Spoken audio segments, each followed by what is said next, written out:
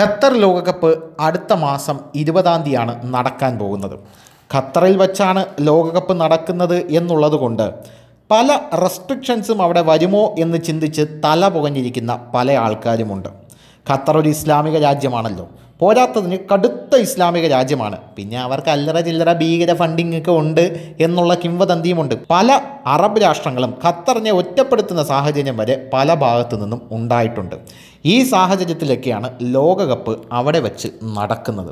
അപ്പോഴിതാ Qatar തന്നെ അവരുടെ ലോകകപ്പ് റൂൾസ് പ്രസിദ്ധീകരിച്ചിരിക്കുകയാണ്.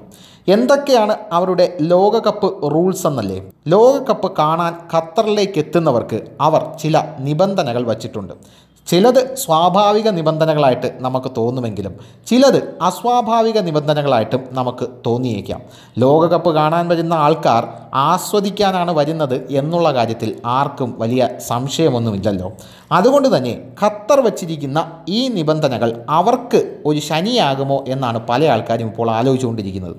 ഖത്തർ ലോകകപ്പ് അടുത്ത മാസം ആരംഭിക്കാനിരിക്കെ. കേരളത്തിൽ നിന്നടക്കം പലരും ലോകകപ്പ് കാണാനായിട്ട് അങ്ങോട്ടേക്ക് പോകുന്നുണ്ട്. ലോകകപ്പ് കാണുന്നതിനായി ഖത്തറിലെത്തുമ്പോൾ പല കാര്യങ്ങളും ശ്രദ്ധിക്കണം. ഇസ്ലാമിക രാജ്യമാണ് ഖത്തർ. അവിടെ മദ്യനയമടക്കമുണ്ട് പക്ഷേ അവരത് ഇളവ് ചെയ്തിട്ടുണ്ട്. എങ്കിലും പല നിബന്ധനകളും ഇപ്പോഴുമുണ്ട്. ഒന്നാമതായി ലോകകപ്പ് കാണാൻ ഖത്തറിലേക്ക് പ്രവേശിക്കണമെങ്കിൽ കോവിഡ് നെഗറ്റീവ് ആയിരിക്കണം എന്നുള്ളതാണ്. അത് ഇപ്പോൾ പല രാജ്യങ്ങളിലും ഉണ്ട് എന്നുള്ളത് കൊണ്ട് ഞാൻ മാറ്റി നിർത്താം.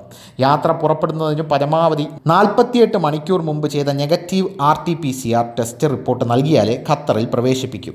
പക്ഷേ ആറ് വയസ്സിന് താഴെയുള്ള കുട്ടികൾക്ക് ഈ നിയമം വേണ്ട എന്നുള്ളത് വേറൊരു കാര്യം. ഖത്തറിലെ പൊതുഗതാഗത സംവിധാനങ്ങൾ ഉപയോഗിക്കണമെങ്കിൽ മാസ്ക് ഉപയോഗിക്കണം എന്നുള്ളതാണ് അടുത്തത്. ഇരുപത്തിയൊന്ന് വയസ്സിന് മുകളിലുള്ളവർ മാത്രമേ മദ്യപിക്കാൻ പാടുള്ളൂ. അതിന്റെ താഴെയുള്ളവർ മദ്യപിച്ചാൽ വിവരമറിയും. ലൈസൻസ് ഉള്ള ബാറുകളിൽ നിന്നും റെസ്റ്റോറന്റുകളിൽ നിന്നും ഇരുപത്തിയൊന്ന് വയസ്സിന് മുകളിലുള്ള ആരാധകർക്ക് മദ്യം വാങ്ങിക്കാം. എന്നാൽ പൊതുസ്ഥലത്തിരുന്ന് മദ്യപിച്ചു കഴിഞ്ഞാൽ ചന്തിയിൽ ചൂതൽ പഠിപ്പിച്ച് വയ്ക്കും.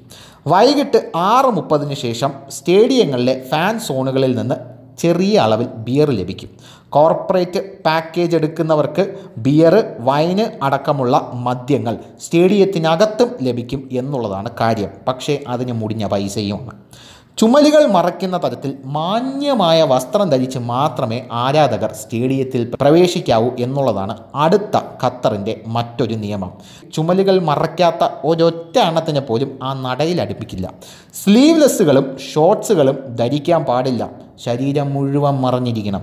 ഖത്തർ ടൂറിസം അതോറിറ്റി നിർദ്ദേശിച്ചിരിക്കുന്ന തരത്തിലല്ലാതെ വസ്ത്രം ധരിക്കുന്നവർക്ക് പൊതു ഇടങ്ങളിൽ അതായത് അവർ നിർദ്ദേശിക്കുന്ന പൊതു ഇടങ്ങളിൽ പ്രവേശനം അനുവദിക്കില്ല.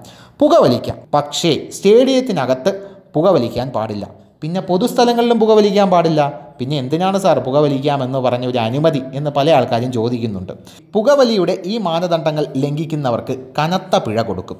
രണ്ടായിരത്തി പതിനാല് മുതൽ ഈ സിഗരറ്റുകൾ കച്ചവടം ചെയ്യുന്നതും ഇറക്കുമതി ചെയ്യുന്നതും ഉപയോഗിക്കുന്നതും രാജ്യത്ത് നിരോധിച്ചതാണ്. എന്തായാലും രാജ്യത്ത് എത്തുന്ന ആരാധകർ നിർബന്ധമായും ആരോഗ്യ ഇൻഷുറൻസ് എടുക്കണം. പതിമൂന്ന് ഡോളറാണ് ഇൻഷുറൻസ് തുക. നവംബർ ഒന്നിന് ശേഷം രാജ്യത്തെത്തുന്നവർ ഹയ്യ കാർഡിന് അപേക്ഷിക്കണം. കാർഡ് ഉപയോഗിച്ച് മെട്രോ ബസ് അടക്കം പൊതുഗതാഗത സംവിധാനങ്ങളിൽ സൗജന്യമായി യാത്ര ചെയ്യാം. നവംബർ ഇരുപതിനാണ് ലോകകപ്പ് ആരംഭിക്കുക. ഡിസംബർ പതിനെട്ടിന് ഫുട്ബോൾ മേള സമാപിക്കും. ഖത്തറിലെ അഞ്ച് നഗരങ്ങളിൽ എട്ട് വേദികളിലായി മുപ്പത്തിരണ്ട് ടീമുകളാണ് ഇത്തവണ ലോക കിരീടത്തിനായി പരസ്പരം പന്തുരുട്ടാൻ പോകുന്നത്.